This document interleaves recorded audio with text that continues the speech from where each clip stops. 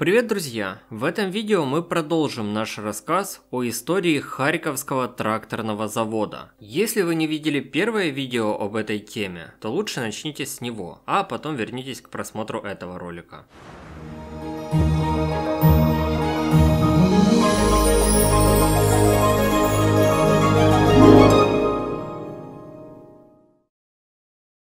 Харьковский тракторный завод начал свою работу 1 октября 1931 года. Первые месяцы работы были пусковыми. Уже в 1932 году с его конвейера сошло 16 044 трактора. Также было изготовлено 1507 двигателей, отлито 16 000 950 тонн серого чугуна и 956 тонн ковкового чугуна, 1296 тонн цветных металлов и 17445 тонн горячих паковок. В сентябре 1933 года завод вышел на проектную мощность 145 тракторов в сутки. За 11 месяцев было изготовлено 28 285 тракторов. Год был закончен с показателями 100,4%, то есть 215 тракторов были изготовлены изготовлены сверх плана. В 1935 году на ХТЗ был изготовлен 100-тысячный трактор, а уже в 1936 с конвейера завода сошел 150-тысячный трактор. В 1934 году на ХТЗ было трудоустроено 20 политэмигрантов из Австрии. Они прошли обучение на токарей и фрезеровщиков. В начале 1930-х была выстроена первая очередь Тракторограда, социалистический город Новый Харьков. Он состоял из многоквартирных домов, общежитий для одиноких, школ, детских садов, фабрично-заводского ученичества, больницы. Был выстроен спортивный городок ХТЗ со стадионом и легкоатлетическим манежем. Рядом с заводом развернули полигоны по испытанию тракторов. В промзоне ХТЗ начали появляться другие предприятия. Например, Харьковский станкостроительный завод. Если вы интересуетесь украинской промышленностью, могу посоветовать вам телеграм-канал «Промыслова Украина». Здесь регулярно выходят новости о украинских предприятиях предприятиях и бизнесе. В Украине даже во время войны продолжают открываться новые предприятия, заводы и фабрики. Строятся новые объекты инфраструктуры. Активно развивается аграрный сектор. И обо всем этом вы можете узнать в данном телеграм-канале. Ссылки будут в описании.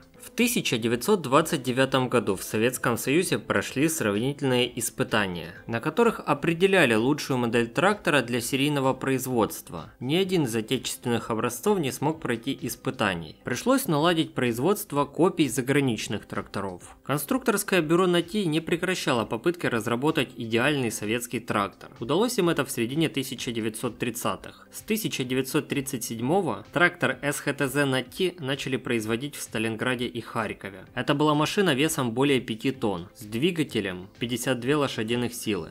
Трактор был гусеничным и в отличие от СХТЗ-15-30 не оставлял глубоких борозд на полях. В 1938 году на Всемирной промышленной выставке в Париже трактор получил большую золотую медаль и диплом Гран-при. На протяжении 15 лет эта модель будет основной для трех советских тракторных заводов. В 1930-е годы советская промышленность пытается освоить серийное производство холодильников чтобы обеспечить ими каждую квартиру. К этому процессу привлекается и Харьковский тракторный завод. В 1937 году на нем предпринимаются попытки разработать холодильник ХТЗ-120. Разработка этой модели займет около двух лет. Серийное производство начнется в 1939 году. За один год будет изготовлено 3500 экземпляров. В 1941 году из-за вторжения нацистской Германии производство будет свернуто. ХТЗ-120 считается первым советским бытовым компрессорным холодильником, который запустили в серийное производство. В послевоенные годы производство холодильников на тракторном заводе не будет восстановлено. В 1938 году на Харьковском тракторном заводе начнется производство трактора ХТЗ Т2Г. Это был первый советский гусеничный трактор с газогенераторным двигателем. Газогенераторная установка работала на дровах, торфе и угольных брикетах. Была специальная система розжига топлива. Трактор имел повышенную пожароопасность, потому его использовали в тех местах, где не было риска сжечь весь урожай. Разработан он был на основе трактора СХТЗ НАТИ, но производился только в Харькове. С 1938 по 1941 годы было изготовлено около 16 тысяч экземпляров.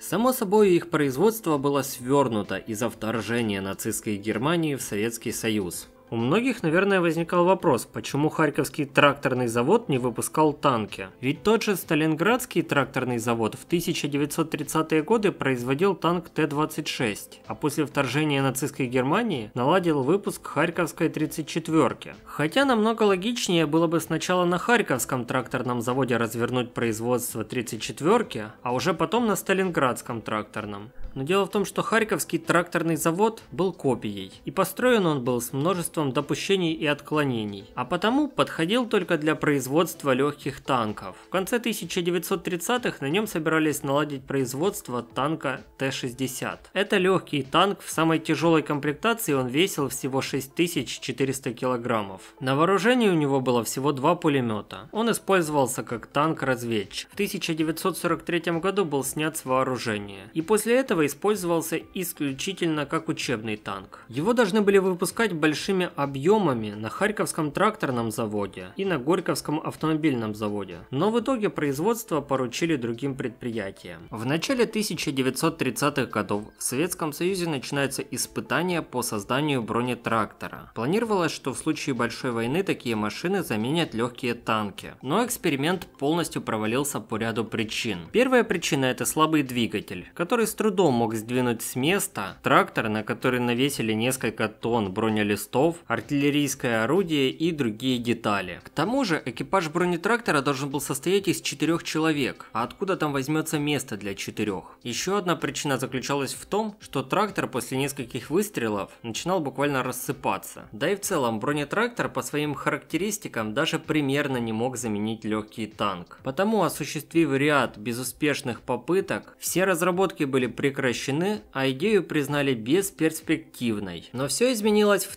1941 году. Большинство своих легких танков Красная Армия потеряла в боях на участке фронта Броды, Дубна, Луцк. Нужно было как можно скорее хоть чем-то компенсировать их потери. И потому идею производства бронетракторов признали не такой уж и бесперспективной. Тем более нужно было загрузить Харьковский тракторный завод военными заказами. Именно поэтому 20 июля 1941 года нарком танковой промышленности Вячеслав Малышев подписал указ о производстве 2000 бронетракторов. Их должны были производить на Сталинградском и Харьковском тракторных заводах сверх нормы. При этом все понимали, что толку с них будет мало, но все же бронетрактор лучше, чем ничего. Конструкторское бюро «Натив» в срочном порядке разработало новый образец. За основу был взят гусеничный трактор СХТЗ «Нати». Вместо кабины на него установили башню с 40 45 миллиметровым орудием. Корпус обшили листами брони. Боковая броня была толщиной в 10 мм, лобовая в 30. Также на вооружении был один пулемет ДП калибра 7,62. Боевая машина весила 8600 кг.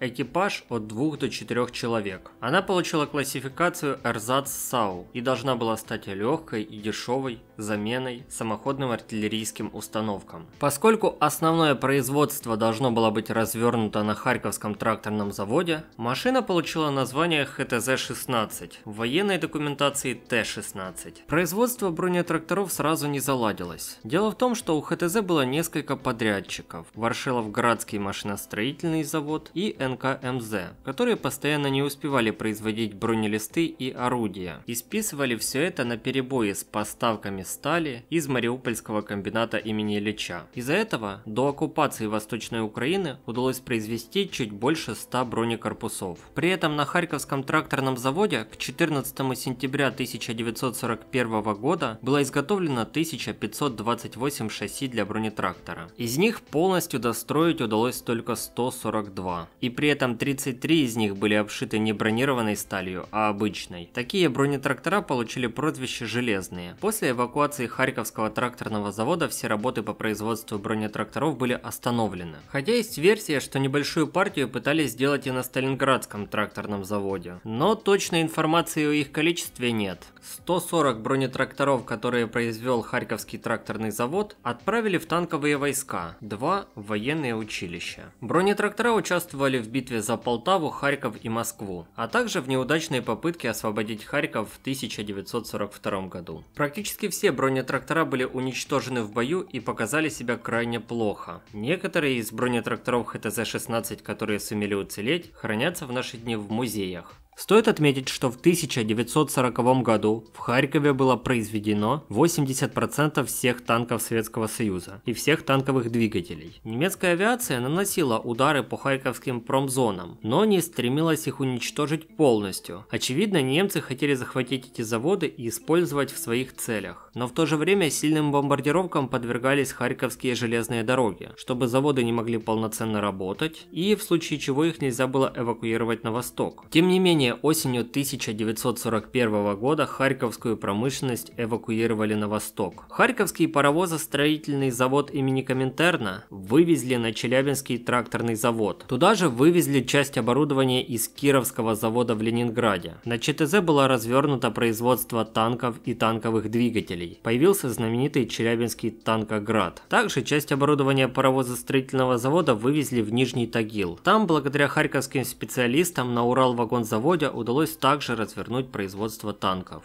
Харьковский тракторный завод эвакуировали на Сталинградский тракторный завод, на котором уже вовсю шло производство танков Т-34. Впоследствии Сталинградский тракторный сыграет очень важную роль в обороне города. Он вместе с окрестной промзоной превратится в настоящую цитадель, которую немцы будут штурмовать долго и упорно. Завод будет отрезан от остальной группировки, которая обороняла город, но не прекратит сопротивление. Несмотря на постоянные обстрелы и авиаудары из его цехов будут выезжать новые и новые танки. Выпуск танков не остановится даже когда линия фронта будет проходить по территории завода. Рабочие с винтовками будут стоять за станками и в случае необходимости отбивать атаки. Недоделанные, непокрашенные танки будут снимать с конвейера, сажать в них экипажи. Они будут выезжать из цеха и сразу же вступать в бой. Один из танков, на который не успели надеть гусеницы, выкатили к большой пробоине в стене и стреляли по наступающим немцам прямо из цеха. Оборона Сталинградского тракторного завода – это настоящий подвиг. И большая гордость, что рабочие Харьковского тракторного завода тоже приняли в нем участие. Танки, безусловно, были очень важны для воюющей страны. Но потеряв самые плодородные земли в европейской части Советского Союза, нужно было все равно как-то кормить людей. И для этого распахивать земли на Урале, Сибири, Дальнем Востоке, Северном Казахстане и Средней Азии. Для этого нужны были новые трактора. Их производство решили развернуть в городе Рубцовск на Алтае. Ну а строить новый завод решили на базе эвакуированного Харьковского тракторного завода. Также привлекли оборудование и специалистов Одесского завода сельскохозяйственных машин и часть персонала Сталинградского тракторного завода. Развернуть производство нужно было буквально в открытом поле. Требовалось выстроить ТЭЦ, кузнечный и литейные цеха, а сборку тракторов наладить в зернохранилищах, которые для этих целей планировали переоборудовать. Необходимо было собирать хотя бы бы 20 тракторов СХТЗ «Нати» в сутки. Хотя тогда в название трактора уже добавили одну букву – АСХТЗ «Нати» или АТЗ «Нати» – Алтайский тракторный завод. Первый трактор сошел с конвейера 24 августа 1942 года, как раз в первые дни битвы за Сталинград. Чтобы производить электроэнергию для производства, рядом с заводом был установлен энергопоезд, а в 1943 году была выстроена Северная ТЭЦ, турбину для которой изготовили голодные люди в блокадном Ленинграде городе, а потом по дороге жизни вывезли из города. Вот так вот в Рубцовске посреди войны был выстроен новый завод по производству гусеничных тракторов, новые жилые дома. Интересно, что к концу войны на АТЗ производили больше тракторов, чем на ХТЗ в довоенные годы. В 1944 году в Рубцовске будет разработан трактор Т-54. Он будет разработан на базе трактора СХТЗ «Нати», но взамен керосиновому двигателю на нем будет установлен дизельный двигатель, к тому же на 40% более экономичный. Этот трактор в случае необходимости можно будет перестраивать в бульдозер. Но его серийное производство удастся развернуть только в 1949 году, сразу на трех заводах – Харьковском, Сталинградском и Алтайском. Всего будет изготовлено 967 тысяч тракторов. Он будет производиться до начала 1970-х. В феврале 1943 года советские войска наступали на Харьков через Чугуев. Начались ожесточенные бои за Харьковский тракторный завод и поселок ХТЗ. Но тогда советским войскам не удалось полностью освободить город. Во время следующей битвы за Харьков в августе 1943 на город наступали уже с севера. Фактически восстановление ХТЗ началось в первые недели после освобождения города. Стоит отметить, что немцы за время оккупации города не смогли развернуть новое производство на ХТЗ. А вот советские специалисты смогли восстановить производство тракторов на ХТЗ уже к концу 1944 года. Это были все те же гусеничные трактора СХТЗ НАТИ. Но также в 1947 году ХТЗ получила заказ на разработку и производство садово-огородного трактора ХТЗ-7. Это был малогабаритный гусеничный трактор, который был очень необходим для восстановления сельского хозяйства в разрушенной стране. Его нужно было выпускать огромными объемами, а ХТЗ не мог сразу освоить большие объемы из-за того, что параллельно производил гусеничные трактора. Потому нужно было найти новый завод, в котором можно будет организовать сборку тракторов ХТЗ-7 из компонентов, которые будет поставлять Харьковский тракторный завод. Это предприятие можно было найти в Харькове, в Харьковской области или в других регионах, но далеко искать не пришлось. Рядом с Южным вокзалом в Харькове в 1943 году была развернута мастерская по ремонту военной техники. Эта мастерская следовала за фронтом еще со Сталинграда, но в Харькове окончательно остановилась. В послевоенные годы на ней производили всевозможную продукцию, абсолютно разную, все что закажут. Именно здесь решили развернуть сборку тракторов ХТЗ-7. Впоследствии предприятие превратится в Харьковский завод самоходных шасси, на котором будут производить трактора ДВШ и легендарный трактор Т-16, в народе получивший прозвище ДВШонок или Попрошайка. Харьковский завод самоходных шасси продолжит работу до 1996 года. На нем будет изготовлено более 600 тысяч тракторов за годы работы. Это было третье на территории города специализированное производство тракторов. В 1952 году на Харьковском тракторном заводе полностью сворачивает производство трактора СХТЗ «Нати». Завод производит гусеничный трактор ДТ-54 и колесный трактор ХТЗ-7. В конце 1940-х годов в Советском Союзе назревал топливный кризис. Старые месторождения нефти истощились, а новые еще не были разведаны. Топливо стремились экономить, потому Всесоюзный институт электрификации сельской местности разработал новый электротрактор, серийное производство которого должен был освоить Харьковский тракторный завод. Трактор получил название ХТЗ-12. За основу был взят все то тот же гусеничный трактор СХТЗ «Нати». На него был установлен двигатель переменного тока мощностью в 42 кВт. На трактор устанавливался барабан с гибким кабелем, который был спрятан в обтекаемом капоте. Кабель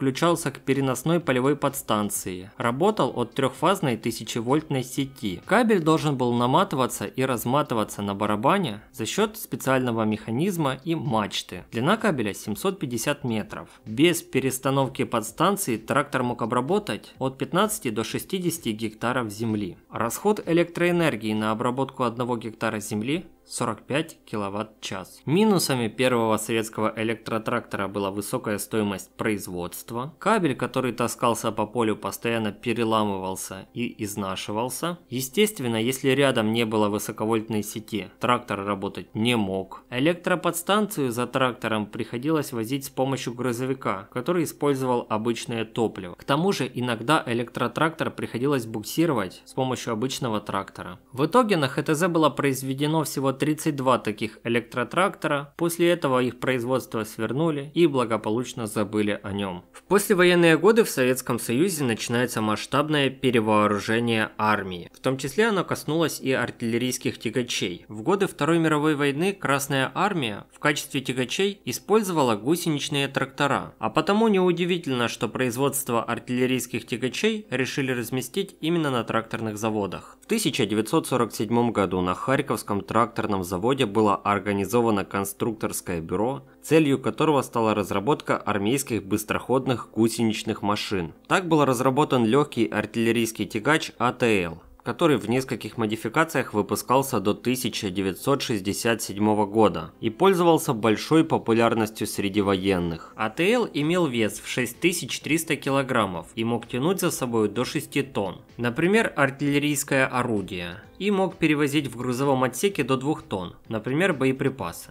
Для удобной погрузки в корпус была вмонтирована лебедка, в кабине было 3 места, в грузовом отсеке 8, то есть места для артиллерийского расчета. АТЛ имел хорошую проходимость и прославился как надежный и простой артиллерийский тягач. В конце 1950-х годов на ХТЗ был создан плавающий гусеничный транспортер снегоболотоход, который мог тянуть за собою колесно-лыжный прицеп КЛП-2. Этот образец не вошел в крупносерийное производство, но стал базой для создания другой военной техники. В начале 1960-х годов конструкторскому бюро Харьковского тракторного завода поручили разработать легкий многоцелевой тягач МТЛ. Поскольку к тому моменту классические артиллерийские артиллерийские тягачи стали слишком уязвимыми и в случае нападения диверсионной группы противника не могли сами себя защитить. Потому новый тягач покрыли слоем брони толщиной в несколько миллиметров, которая могла защитить от пуль и осколков. А также вооружили пулеметом ПК калибра 7,62. Потому машина получила название МТЛБ – многоцелевой тягач, легкий бронированный. Ее серийное производство началось на Харьковском тракторном заводе в 1964 году. Машина окажется окажется очень удачной, потому ее производство будет налажено на заводе Муром Тепловоз, а также на Алтайском вагонном заводе. Это филиал Уралвагонзавода в городе Рубцовск. И находится он прямо по соседству с Алтайским тракторным заводом. Также производство МТЛБ будет налажено в Болгарской и Польской народных республиках. По всплывающей в правом верхнем углу подсказки вы сможете перейти на видео о заводе имени 9 мая. Это был болгарский филиал ХТЗ. По сути это гусеничная машина, весом в 9700 килограммов, которая может преодолевать крутые подъемы в 35 градусов, переплывать небольшие водоемы, ехать по непролазной грязи и заснеженным просторам. Экипаж составляет 2 человека, десант до 11 человек. МТЛБ начали применять как артиллерийский тягач, снегоход, который может тянуть за собой сани с полезным грузом, бронетранспортер, который подвозит десант к линии боевого соприкосновения. На основе МТЛБ начали производить боевые машины пехоты, снегоболотоходы, машины для лесничеств, пожарные машины и еще много-много другой техники. Главным недостатком было то, что МТЛБ жрало топливо буквально ведрами, но на полном баке можно было проехать 500 километров. Но самое главное, МТЛБ оказалось идеальным шасси для постройки другой военной техники.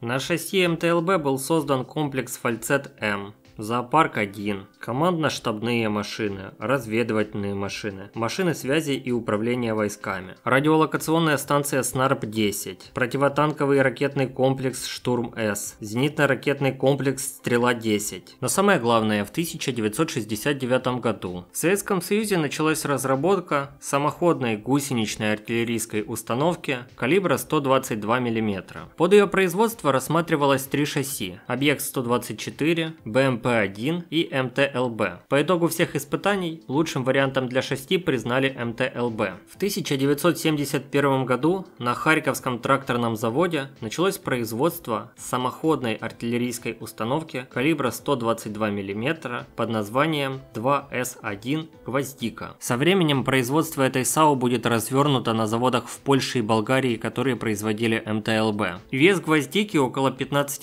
700 кг. Экипаж 4 4-5 человек. Дальность стрельбы более 15 километров. Наверное, возник вопрос, а как ХТЗ могло производить эту САУ, если ранее было указано, что завод мог производить только легкие танки? К началу 1970-х предприятие было капитально реконструировано и уже могло производить тяжелую военную технику. САУ «Гвоздика» будут производить до 1991 года. Производство МТЛБ на Харьковском тракторном заводе будет продолжаться до второй половины 2000-х. В 90-е на его базе будет будет разработан вездеход ХТЗ-3Н, который производился для гражданских целей. В 2021 году руководство ХТЗ заявило, что хочет восстановить производство военной техники на заводе, но идею не удалось реализовать из-за вторжения России. С 1937 года в Советском Союзе начинается серийное производство трактора СХТЗ «Нати», который будут выпускать на Харьковском, Сталинградском и Алтайском тракторных заводах. В 1944 году на Алтайском тракторном заводе был разработан трактор ДТ-54, который также будут выпускать на Харьковском, Сталинградском и Алтайском тракторных заводах. В 1959 году на Харьковском тракторном заводе был разработан трактор Т-75, который является глубокой модернизацией DT54. Главное отличие – новый дизельный двигатель мощностью в 75 лошадиных сил, двухдисковое сцепление, новая коробка передач, внешний отличительный признак – вентиляционный люк треугольной формы над лобовыми окнами. Т-75 производился с 1960 по 1962 год. На Харьковском тракторном заводе было изготовлено 45 800 штук. После этого конструкторское бюро Харьковского тракторного тракторного завода на основе тракторов DT54 и T75 разрабатывает новую модель гусеничного трактора с дизельным двигателем мощностью в 75 лошадиных сил, который получил название T74. Этот трактор будут производить с 1962 по 1983 годы. Всего будет изготовлено 880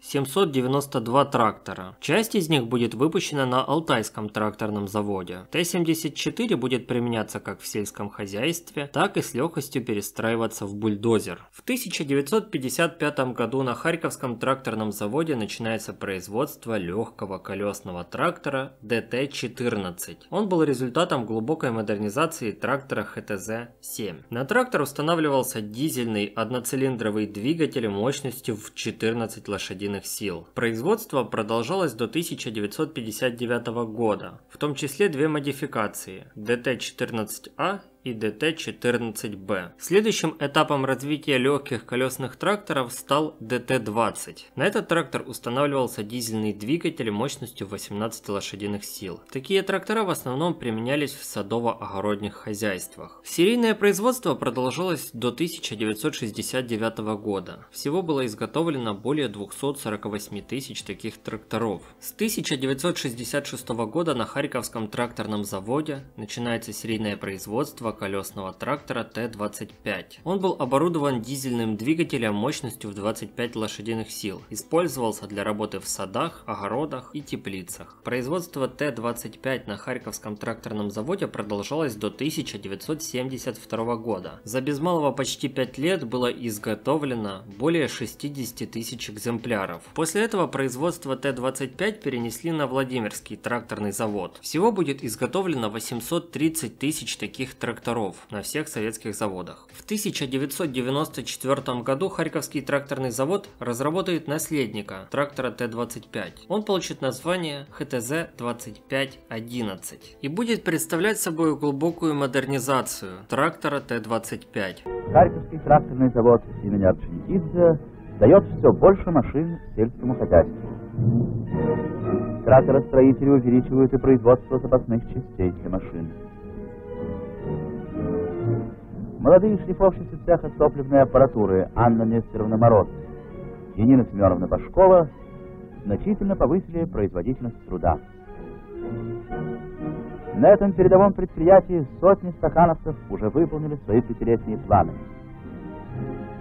На Урал, в Сибирь, в Казахстан и другие районы освоения старинных и залежных земель Харьковский завод отправляет тысячи тракторов. Стоит отметить, что с 1953 по 1964 годы первым секретарем Коммунистической партии Советского Союза был Никита Хрущев. Фактически он же являлся главой государства. Что вообще мы знаем о Хрущеве? Помимо двух популярных мифов о том, что он был украинцем и о том, что он подарил Крым. Ну, наверное, все слышали о хрущевских реформах сельского хозяйства, которые полностью провалились. Среди них самыми известными стали три эпопеи – Целина, мясная эпопея и кукурузная эпопея. Также, я думаю, все слышали о панельных пятиэтажных домах, которые называют хрущевки. В свое время в них переселились 70 миллионов человек. А вы понимаете, что такое целина? 30 миллионов гектаров ранее непаханных земель в Казахстане, Узбекистане, Поволжье, Урале, Сибири, Дальнем Востоке и Крыму нужно распахать. На строительстве хрущевок тоже нужны были трактора или строительная техника, построенная на базе трактора. Так что тракторов при Хрущеве стране нужно было не меньше, чем при Сталине. Но к тому моменту в тракторостроении Советского Союза сложилась примерно следующая ситуация. Легкие трактора в основном были колесными, тяжелые трактора гусеничными. В 1955 году на всесоюзную сельскохозяйственную выставку приезжает американский фермер Росуэлл Гарст из штата Айова. Он объехал целый ряд советских городов и сельских хозяйств, а потом встретился с Хрущевым. На этой встрече фермер Гарст рассказал Хрущеву свои мысли о преимуществах выращивания гетерозисной кукурузы. С этого момента фактически и началась кукурузная эпопея. Кукурузу начали сажать по всей стране, даже под полярным кругом. В то время руководители советских колхозов шутили, либо ты сажаешь и убираешь кукурузу, либо тебя посадят или уберут. О кукурузе снимают мультфильмы, документальные фильмы, отправляют ее в космос, выпускают елочные игрушки в виде кукурузы. И даже придумывают имя – Кукуцаполь, кукуруза царица полей. В сентябре 1959 года Никита Хрущев вместе с семьей посещает Соединенные Штаты Америки. Это было просто беспрецедентное событие, поскольку впервые глава Советского Союза приехал в США, да еще и в разгар холодной войны. Американское общество было встревожено тем, что в любой момент может начаться Третья мировая война с применением ядерного оружия. И тут приезжает глава этой самой страны, с которой они собираются воевать. Само собой, это вызвало просто невероятное внимание американского общества и журналистов. Американцы увидели, что Хрущев это не суперзлодей, а улыбчивый селянин в старом пиджаке и шляпе. Хрущев с официальным визитом посетил Вашингтон и Кэмп Дэвид, и с неофициальным визитом посетил Нью-Йорк, Лос-Анджелес, Сан-Франциско, Де-Мойн и город Эймс в штате Айова, само собой заехав на ферму Роусела Гарста. Также Хрущев хотел заехать в Диснейленд, но не получилось. В США глава советского государства попробовал Кока-Колу, ему показали лучшие достижения американской промышленности, современные вычислительные машины. Хрущев безэмоционально на все это смотрел, иногда произнося фразы «И этим вы меня удивить хотите?», а про себя думал, как бы нам у себя все это производить. Например, Хрущеву очень понравилось, что в Соединенных Штатах много автоматов с газированной водой. Тот самый знаменитый автомат газ воды Харьков, из которого пьет Шурик, разработали и начали производить на Харьковском заводе холодильных машин после поездки Хрущева в США. Хрущеву понравилось, что в США магазины с самообслуживанием, и их начали внедрять в Советском Союзе. Хрущеву понравилось, что на американских вокзалах камеры хранения, и на советских вокзалах начали появляться камеры хранения. Хрущев увидел в США дома с совмещенным санузлом, и хрущевки начали строить совмещенным санузлом. В принципе, этот список можно продолжать очень долго, но при чем тут трактор? Когда Хрущев приехал на фермерское хозяйство Роусела Гарста в штате Айова, само собой вместе с Гарстом Хрущев пошел осматривать плантации царицы полей и сразу же начал раздавать советы. Кукурузка очень густо растет, надо бы проредить, на что Гарст ответил, не надо. Интересный момент в том, что сам Гарст очень не любил журналистов, а за Хрущевым ходили буквально толпы репортеров. Чтобы избежать их внимания, Хрущев даже приехал на час раньше оговоренного времени.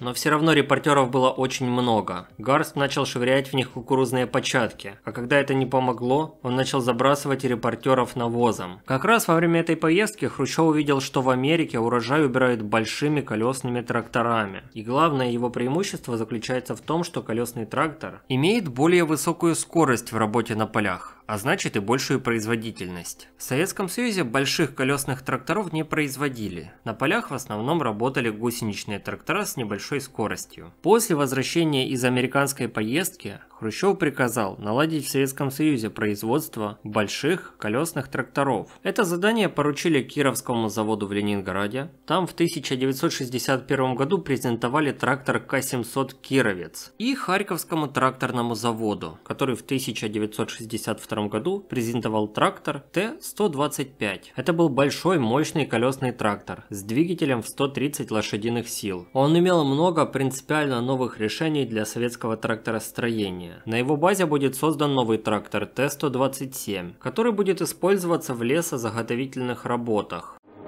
На полигоне Харьковского тракторного завода проходит последние испытания новый колесный трактор Т-125.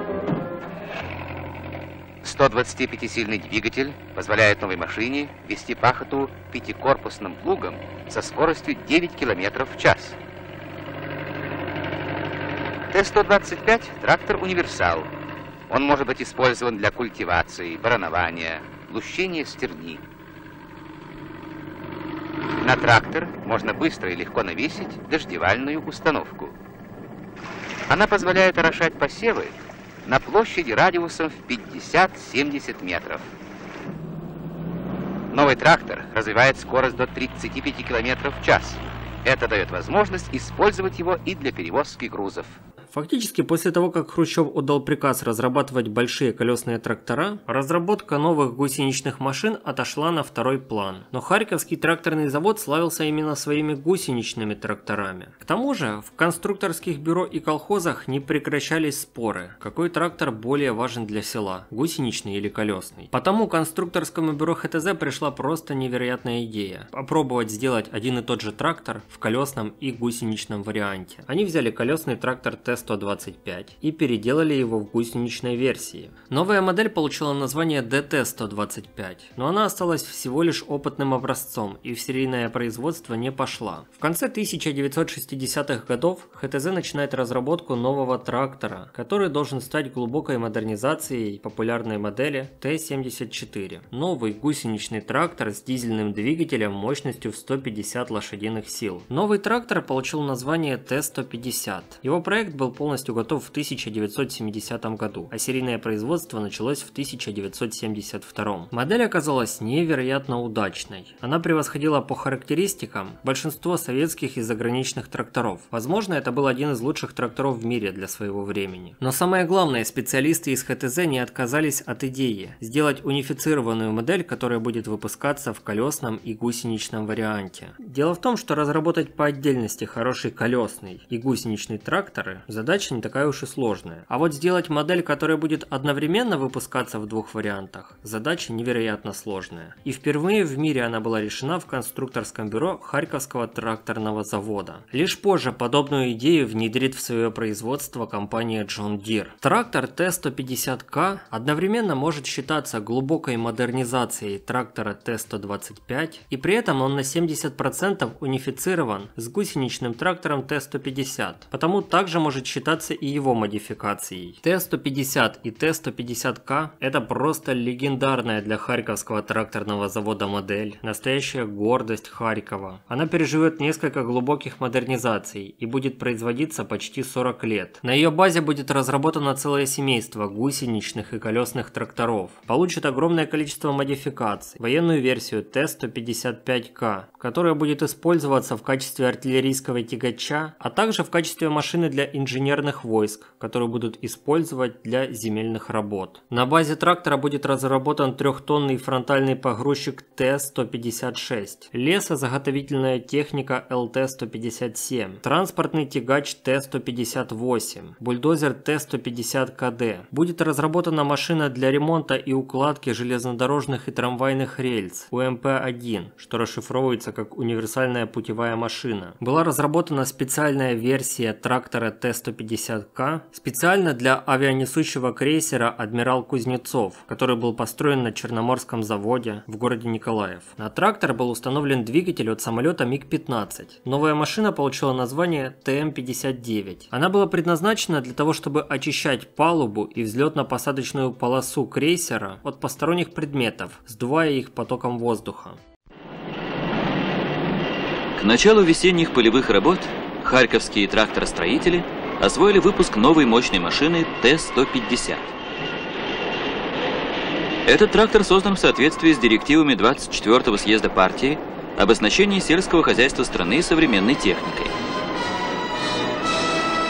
Новую модель коллектив завода сумел подготовить к выпуску без остановки конвейера.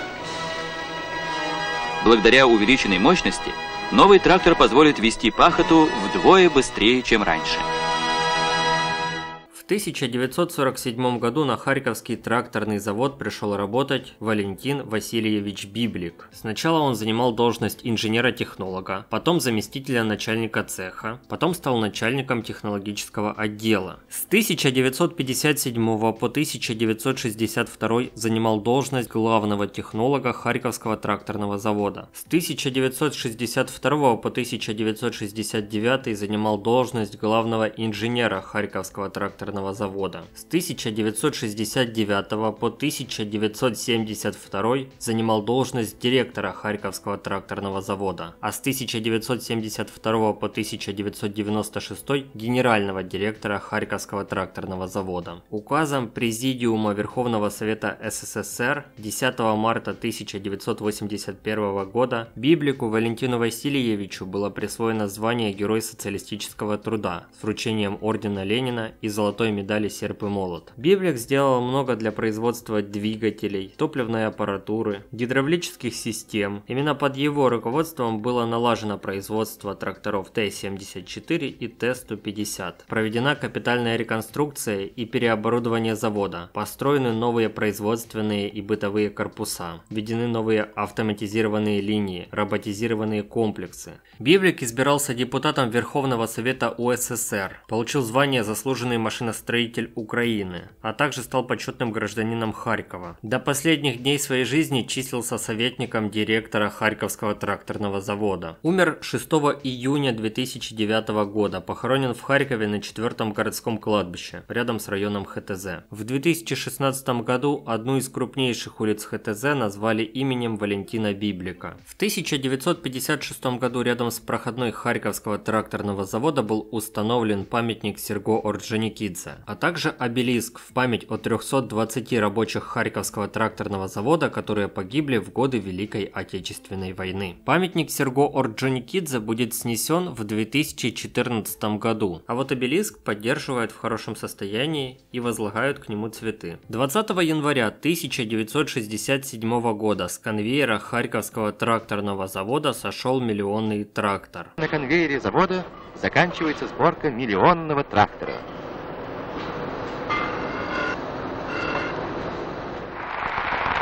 Многотысячный коллектив тракторостроителей торжественно отметил выпуск юбилейной машины.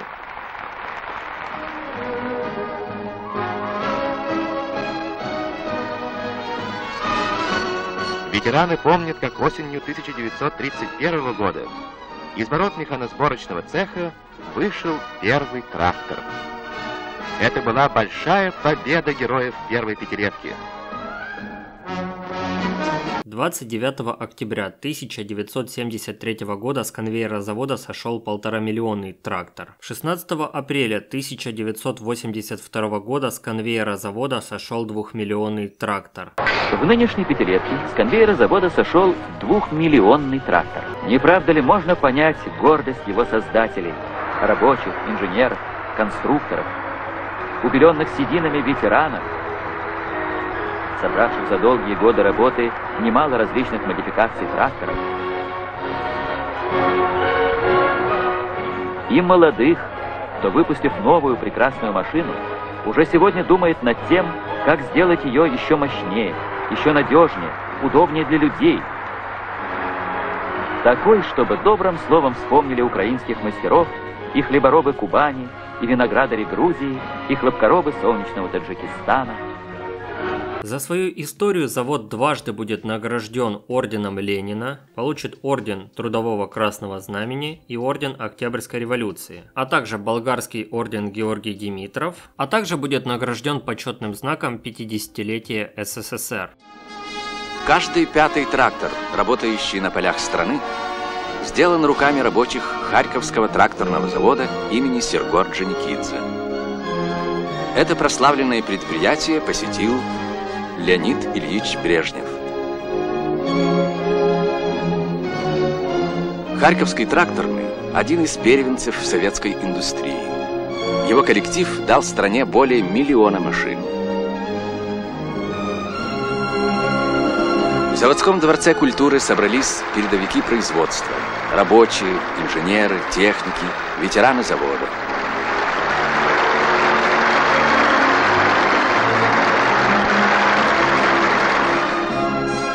Товарищ Брежнев дал высокую оценку вкладу харьковских тракторостроителей в развитие советской индустрии, выразив уверенность, что многотысячный коллектив оправдает высокую награду Родины новыми трудовыми победами.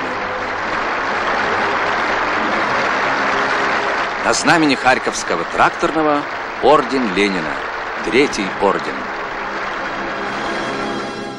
В конце 1960-х на заводе прошла масштабная реконструкция. Предприятие было переоборудовано, модернизировано и значительно увеличило объем производства продукции. При этом производство тракторов не останавливалось ни на минуту. После реконструкции проектная мощность завода составит 70 тысяч тракторов в год. Но на такой объем предприятие никогда не выйдет, поскольку часть его мощностей будет занята производством военной техники. Максимально на ХТЗ производили чуть более 60 тысяч тракторов за год. Для того, чтобы производить трактор Т-150 и Т-150К огромными объемами, нужно было выстроить огромную цепочку из филиалов ХТЗ и заводов-подрядчиков. Мосты для трактора и много других кованых деталей производились на Лозовском кузнечно-механическом заводе. Это было крупнейшее кузнечно-штамповочное предприятие Советского Союза, на котором в лучшие годы работало до 16 тысяч человек. Для тракторов Т-150 и Т-150К нужны были дизельные двигатели двигатели SMD-60 и SMD-62. Для их серийного производства в Харькове на улице Киргизской на месте снесенного кирпичного завода было выстроено новое предприятие – Харьковский завод тракторных двигателей ХЗТД. Он имел проектную мощность 125 тысяч двигателей в год, но в лучшие годы производил всего 86 тысяч двигателей. Большая часть уходила на нужды ХТЗ.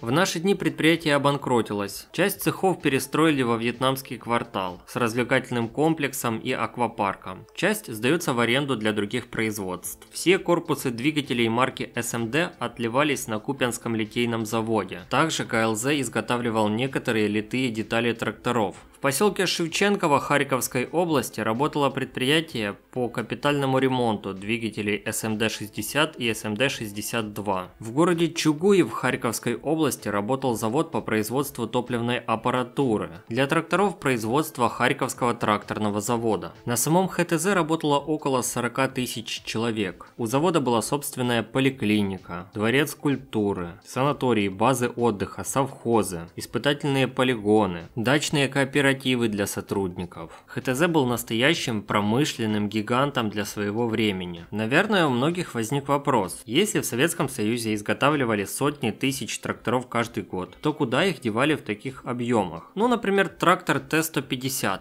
Желанная вещь в любом колхозе или совхозе Советского Союза. Только в УССР в конце 80-х было 10 тысяч колхозов и 2 тысячи совхозов. И еще десятки тысяч колхозов и совхозов по всей стране. А плановая экономика подразумевала, что каждый из них будет получать технику, вне зависимости от того, убыточный он или сверхприбыльный. Помимо этого, десятки тысяч строек, которым нужны бульдозеры на базе трактора или другая спецтехника, военные инженерные войска, лесозаготовительные предприятия, коммунальные предприятия. Ну и, например, тот же Т-150 продавали в 36 стран мира. И вот именно благодаря тому, что Т-150 производился такими большими объемами, в начале 2000-х его можно было встретить практически в каждом селе. В Европе, Азии, Африке и Латинской Америке. На этом вторая часть истории Харьковского тракторного завода подходит к концу. Спасибо за просмотр и до новых встреч.